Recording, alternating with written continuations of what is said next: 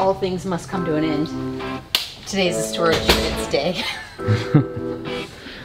Lights on. Clap, clap. Wow, very well Ow, done. That, that worked. Wait, I can't remember what our number was. We've only been to the storage unit twice in the last four years. Both times we've had to have the lock cut. How about that?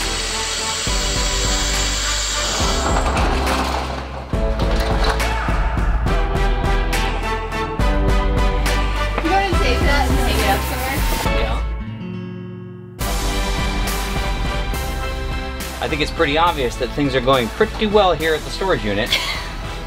I found a box of your things from the garage, and it turns out you've always loved hoses. so much so that you decided to store this one. That's a particularly nice hose, actually. That's before I knew about the zero G. Okay, Yeah. so for us, this was a six month trip. Of course, that was four years ago. But we had every intention at the time, we were thinking that if this whole RV, full time RV living thing, just, we didn't even know that was a term actually when we left, but we just thought this trip was a huge mistake and we have to come back and furnish a place. Our kids were pretty young, we had a four bedroom house, then that's what this is. So we took an opportunity to get rid of the furniture that we've always wanted to burn. Like since the day we bought it, we were like, I hate this piece, but somehow it just continued. You know, like the, it's some like even family hand me down furniture Yes. when you're kind of like, you know, you're raising your kids and someone says, hey, you want this? And you're like, yeah, I could use that. Yeah. And then you have it for a decade. Yes, and your kids have like barfed on it. Your dog has Yes. made it a mess, and you're like, "Yeah, th- we need to store this." Yeah. No, you don't. So we took that opportunity to get rid of all of that furniture. That was pretty easy. And then we took some of the furniture that we thought we'd want to furnish wherever we land. And then somehow we ended up with more than we thought. So we're going to go through some of those items just so that we can eliminate that and maybe help you with what to store, what not to store, if you need to store at all. I love this thing. It still has California sand on it. Well, what are we going to do with it is the question. Oh, I Tell love everyone what this it is. thing. It was my wagon. I used to bring the kids to the beach in the summer. And I pile up all the surfboards in the cooler and everything and ride our bikes down there. Let's talk real quick about how to stay organized in this entire process. You'll notice that this has number 36 on this box rather than like what's in it, like living room or dining room. It says number 36. What I did, and this was probably the only smart thing I did, is I created a Google Doc before we left. And in that Google Doc, I had a column where I put numbers, and then in there I put the category, and then I put some, like, what were the items actually in there. And so this way, at any time we wanted, we could look into the Google Doc, and we could say, if we needed something super important two years later, we knew exactly which box it was in. What would be even more smart is to take certain boxes and put them by the door, which I think we did, and then some of the stuff that we knew we never would need, we put a little bit further back. But uh, I just, I felt like that was a nice way to stay organized. And then if we were on the road and we were wondering where something was, we could look it up in the doc and we could see. The reason I didn't use Excel is I might lose the file. And the nice about Google Docs is it's in the cloud. So that's just a little tip for how to stay organized when you're dealing with downsizing. This the treasures are the best part of the storage unit. So Mark and I saw a speaker once and he was talking about how you should make a placemat for your family. Which is funny why I'm holding something so big. but you should make a placemat for your family so at dinner time you can talk about your values and what you believe in and things like that. So we made this. and we hung it on the wall but it was so cool because we talked about like what our family principles were. We would take one of these a week.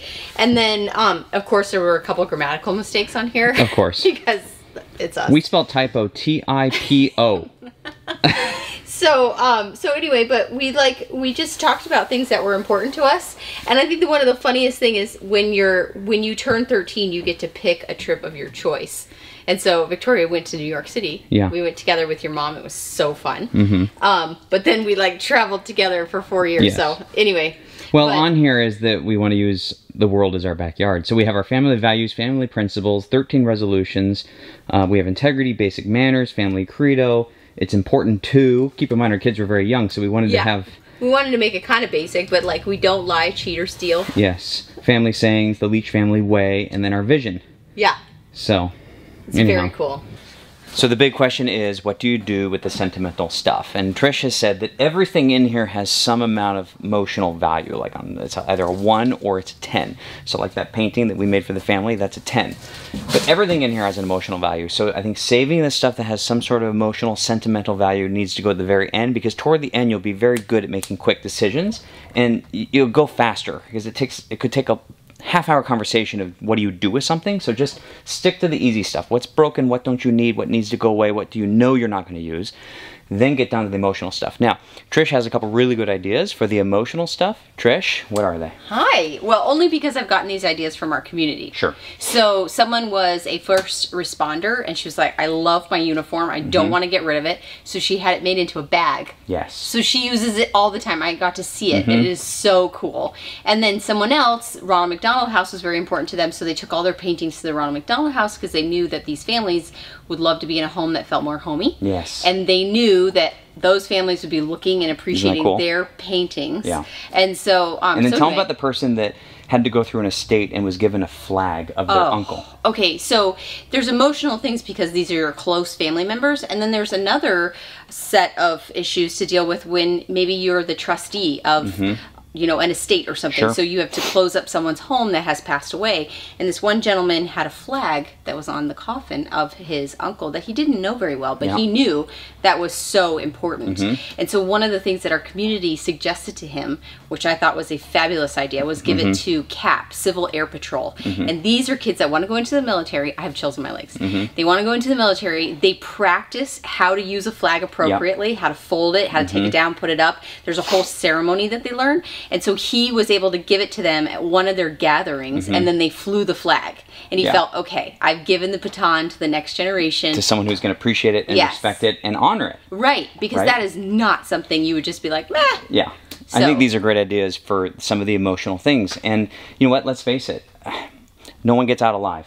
That's right. And so the more that we can do when we're living to take advantage of our life and live it to the most and get rid of these things and have it ourselves, give it to the next person that's going to treasure it, guard it, honor it, mm-hmm. whatever is is is just paying it forward to our kids. So just keep that in mind. yes.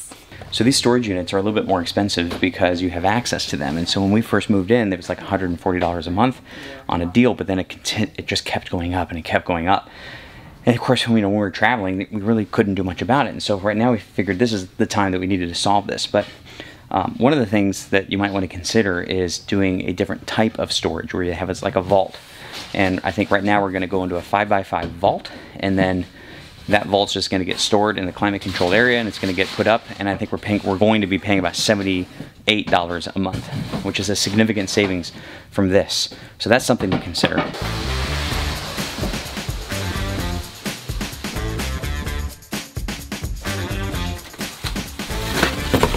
Froggy. Froggy. Froggy with no eyes. Maddie used to take the eyes off of every stuffed animal in our house.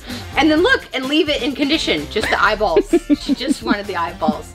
This was her robe. Oh my she gosh. Was born. I remember that. Remember? We had to wait forever for her to be able to wear it. Well, tell was so everyone that she was three pounds fourteen ounces. Yeah. So we're lucky we even have Victoria. Yes. She almost didn't make it. So anyway, but like this was this was too big for her Oh my gosh. when she was born.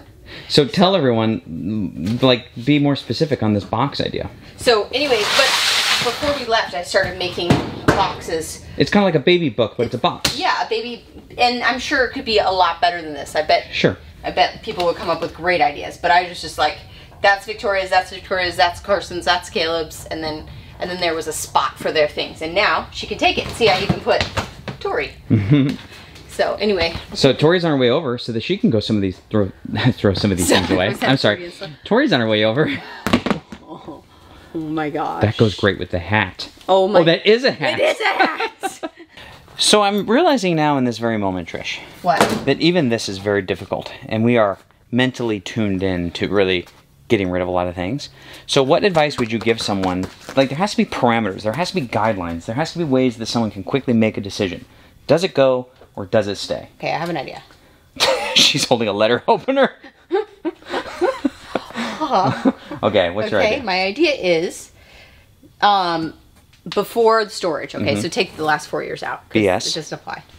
But when was the last time you played racquetball? I don't like where this is going. I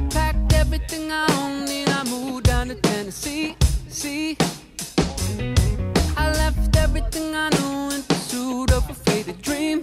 Dream. Without a clue, I was in for such a crazy long ride. I knew something good was waiting on the other side. I took a couple of falls, picked up some bruises along the way. Way. Still got a handful of scars to prove every single due I paid, paid.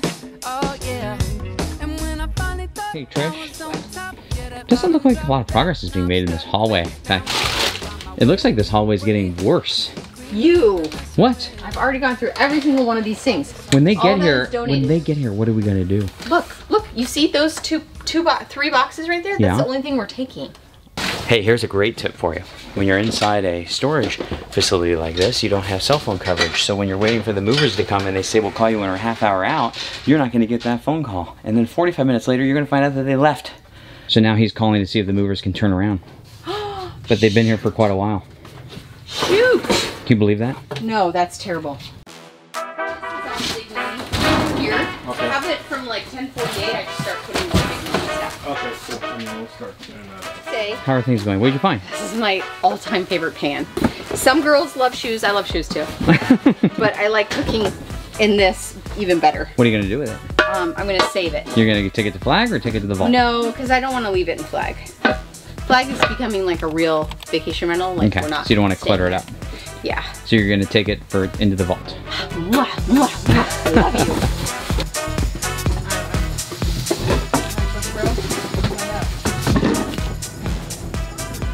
I will say that things are starting to get down to the nitty gritty now. The things that are making it very difficult. What do we keep and what do we give away? You know, that's kind of where we are right now. Those are charity? This is charity, charity. This is that's that's staying with us. This is What the mattresses are, the mattresses are going. We are by no means experts in this.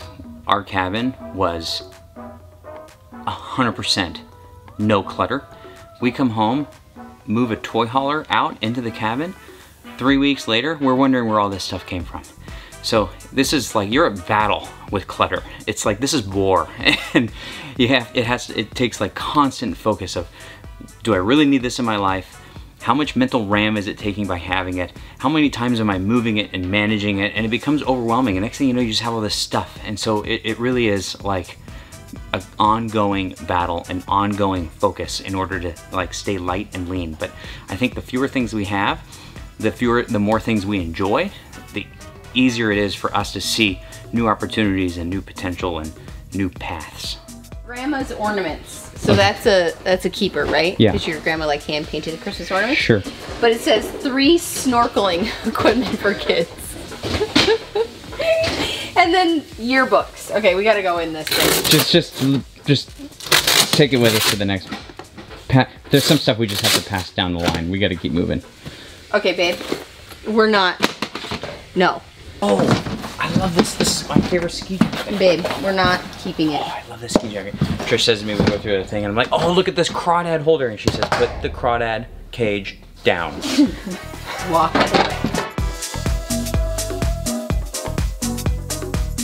Feels lighter, doesn't it? Yes, we got rid of so much.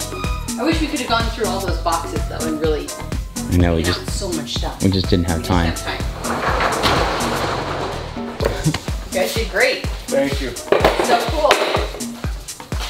Pretty fast? Yes. Great. Put this one in there. I kind of feel like it's like a, it's this funny nostalgic feeling. And by the way, look at look at what I snuck out. Huh? We go caught crawdad catching anyone? Anyway, I can't believe. that's gonna be fun. Anyhow, Dose moved us in here four years ago, and now Dose took the things, much smaller things, and they're gonna go put it in a vault. But it's funny, isn't it? Yeah. Like when we came in here, we knew nothing. We knew nothing about KYD. We knew nothing about we only know incrementally more. That's true, that's it, true. it went it went from here to here. Yeah. but it's just interesting. We know, well, one thing we do know, we know how we want to live. Yes. And when we when we came in here, it was it was like we were trying something out for six months, and now we know it worked, and we know we enjoy it. And our kids are older, and we have a much we're much more clear on the stuff we'd like to keep. We are very fortunate in that because, you know, we had all the kid stuff that we were Yeah. keeping. Yes. Because we thought we needed to have it for them at the end of the tunnel. Yeah. But now they're all like leaving. I know. So Yeah. we got to get rid of a lot it's cool. stuff. The feeling of getting rid of things that you no longer need is a really freeing, liberating feeling. So, if all you're able to do is just simply declutter this weekend, then do it. Because you'll feel better just simply purging out some things. And plus, I think it really does prepare you for the next phase of your life, whatever that is. Because everybody, I've come to the conclusion that everybody, there goes our truck. Everybody is going through some sort of change because if you're just having kids, that's a change. If your kids are getting older, that's a change. If your kids are leaving, that's a change. If you're getting to retirement, and so it's like you can't go through a decade without some big change. That's right. And if you can't start with your whole house, start with a drawer.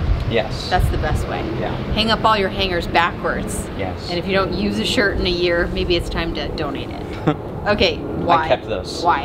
well, look, there's some things you just have to keep, and these and this. Okay, that needed to go, and this needed to go. Just things that you have used once in like 10 years. Sorry, I think everybody. I think everybody needs a little grace with like five or six items, no more than eight. It's got like Max 10. 20.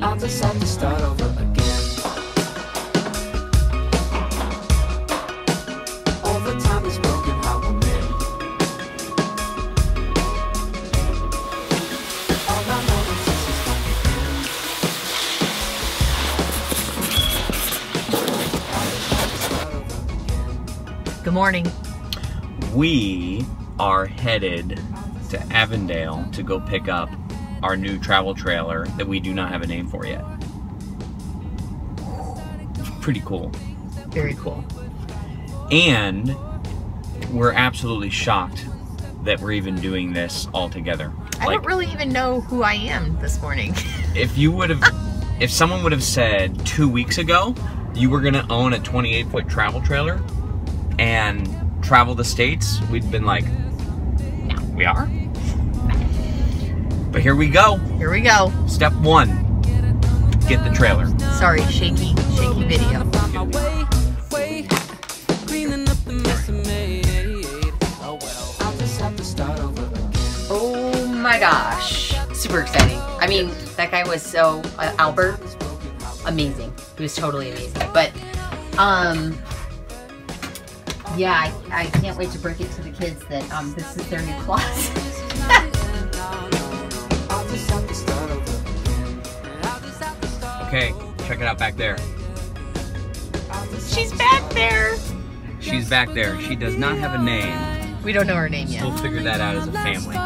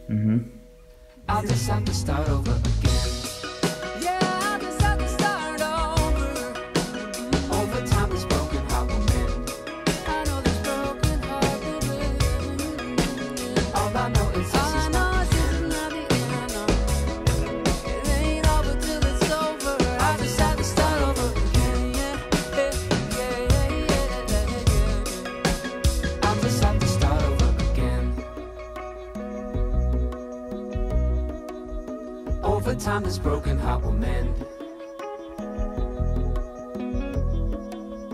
All I know is this is not the end.